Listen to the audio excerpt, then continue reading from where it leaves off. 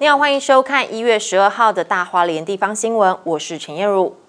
台九线苏花公路大清水隧道南口，十一号深夜十一点五十五分发生坍方，土石从三十多公尺的边坡崩落，直接砸毁二十五公尺长的明隧道，造成双向通车受阻，严重影响交通运输。而公路总局立即派员从坍塌处两端，同时日夜抢修。而目前交通部预估，在十五号傍晚五点前，应该就能够顺利抢通。他那天还在崩哦，还在崩哦，不要太高兴哦，还在还在崩落哦。苏花公路大清水隧道南口十一号深夜突然坍塌。通往花莲的交通大动脉突然中断，远景到场疏导交通，不过往来车辆直接被堵在隧道内。现在所在的位置呢，就在苏花公路的大清水隧道内部坍方处，也就是一百五十九点三公里处。那我们可以看到后面的状况哦，这个公路队的人员有派出大型的机具要来清理这个碎石，但是还是相当的困难，因为这个石头呢，最高的是有到三公尺这么高。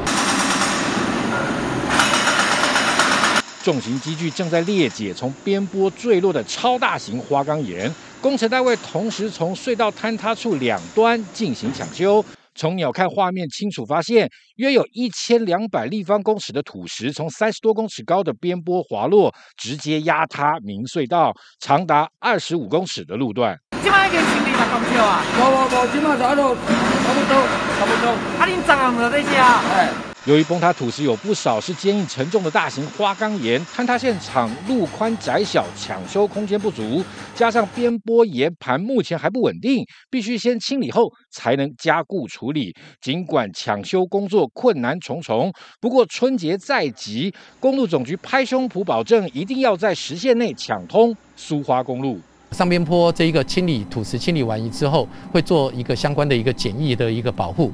那预计在这一个我们星期日，哦，这个我呃十七点能够这个抢通哦，那开放通行。开放现场架设前进指挥所，公路总局全力投入抢修工程。由于坍塌路段是苏花改与旧苏花公路的共线路段，目前宜兰往返花莲公路中段无法通行，民众只能改以铁路运输或绕道中横。交通部也备妥海运服务，只要有需求，随时都能启用。记者综合报道。